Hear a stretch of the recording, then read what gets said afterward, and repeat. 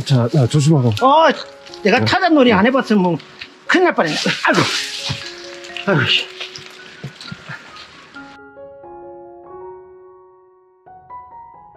안녕하세요. 약초군 이현설입니다. 오늘은 강원도 높은 산으로 상황버섯 사냥을 가는데 산 초입에 상국이 노랗게 꽃을 피웠군요. 며칠 연속 아침에 소리가 내리고 여우는 뚝 떨어져 상국이 올해 마지막 야장아일 것 같죠. 잦은 비로 인해 계곡에 물이 많아 빠지지 않게 조심스레 건너는데 장화를 신었으니 건널 수 있지 등산화를 신었다면 엄두를 내지 못할 뻔했습니다. 이곳 산도 며칠 사이에 단풍이 들어가고 있고 계곡 옆쪽으로 올라가는데 해임나무 잎이 빨갛게 단풍이 들어가고 있고 조그만 빨간 열매가 달렸죠. 해임나무는 화살나무와 잎과 열매가 비슷한데 엄연히 다르며 낮은 지방에 자생하는 화살나무에 비해 회임나무는 고산에 자라는 특성이 있습니다. 본격적으로 상황버섯을 찾기로 한국까지 2시간가량 올라왔나요? 이곳은 아름드리 나무들이 즐비하고 사람의 발길이 전혀 없는 것을 보니 무척이나 험하고 깊은 산이겠죠. 여기에서부터 상황버섯과 야경버섯들을 찾아보기로 합니다. 제일 먼저 본 버섯은 박달나무에 높이 달려있는 말굽버섯이고 보태목님이 나무를 오릅니다.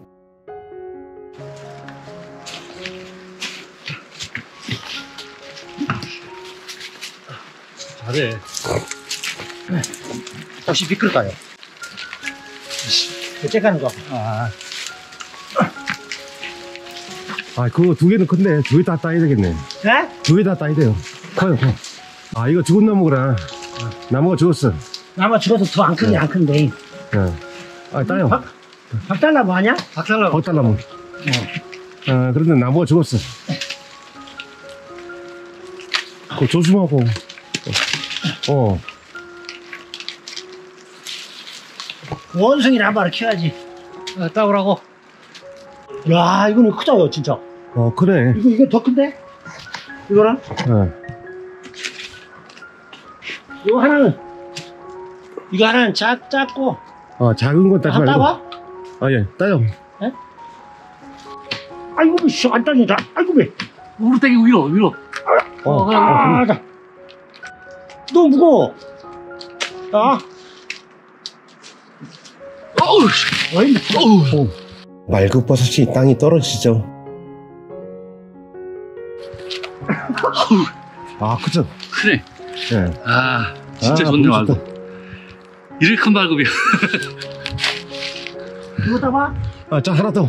아, 어, 더큰 거 같은데 이거 발로 따야 되겠다. 안 따니까, 이거. 위로 땡겨 위로 어 위로 떨어진다 아, 어, 이건 더 크네. 응. 아, 어. 아, 예, 이거 맞으면 큰일 나요. 어 그니까 예, 맞으면 다치죠, 다쳐. 이야, 그때. 아 끝내주네 말굽이 톡톡하네 아주 꽤 먹었죠? 그래도 많이 말랐는데 어, 많이 말랐어. 어 말랐는데 젖진 않았어 자, 야, 조심하고. 어, 내가 타잔놀이 안 해봤으면 뭐 큰일 날 뻔했네. 아이고. 아이고, 씨. 힘들게 말굽버섯을 채취하고 막걸리로 먹을 축입니다. 어렵네.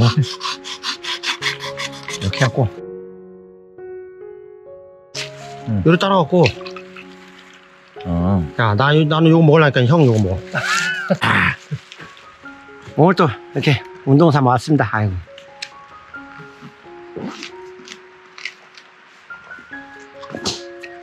아, 맛 죽이네. 이런 맛에 산에 다니는 거지, 진짜로. 아. 아이고, 기가 막혀. 저 앞쪽 뿌리채 뽑힌 커다란 홍철나무가 있고 뿌리 부분에 잔나비 블러초가 자라고 있군요.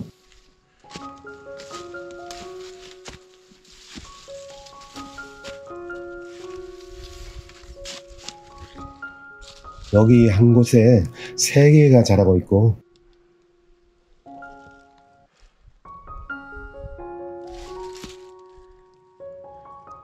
부러진 나무에는 아래에서 옆쪽으로 커다랗게 자라는 잔나비 블루초도 있죠. 이것은 굉장히 큽니다. 부러진 중간 부분에 하나 더 있는데 모양이 예쁘죠. 저기 끝쪽에도 잔나비 블루초가 자라고 그 위에 낙엽이 떨어져 있군요.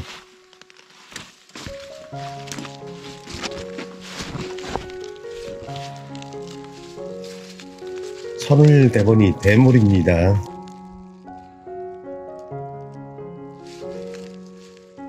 다시 부러진 사슬의 나무를 발견했는데 편편형 상황버섯이 나무 전체에 빼곡히 붙어 자라는 모습이죠.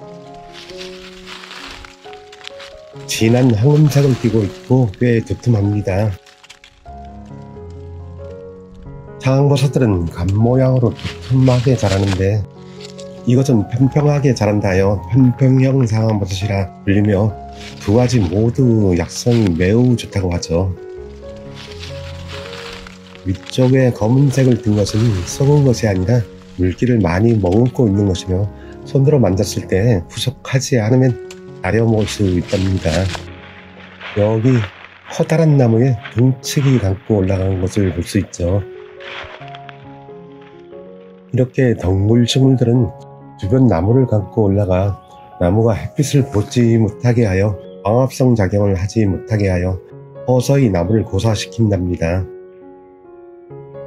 고사된 나무에는 상황버섯을 비롯한 야경버섯들이 자라기 때문에 버섯을 찾는 사람들에겐 덩굴 식물들이 고마울 때도 있답니다.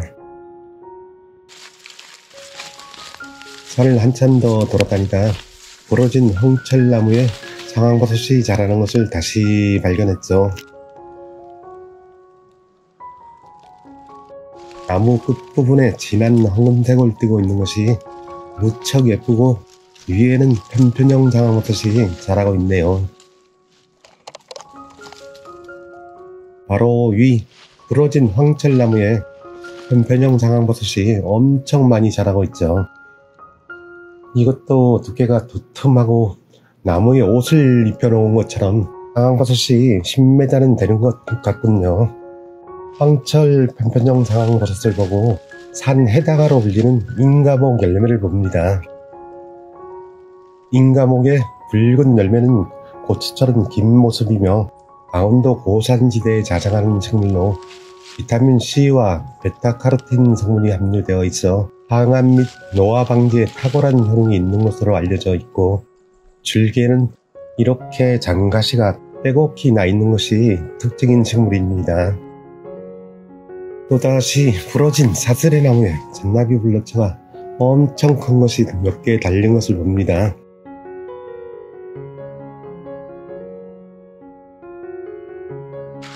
엄청나게 크네.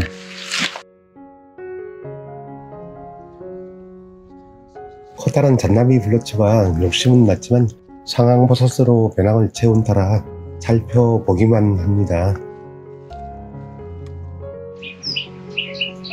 잠시 휴식을 취할 때 늦가을 산속은 새소리가 들려오고 아름답게 단풍이 든 모습을 보며 서서히 하산을 합니다.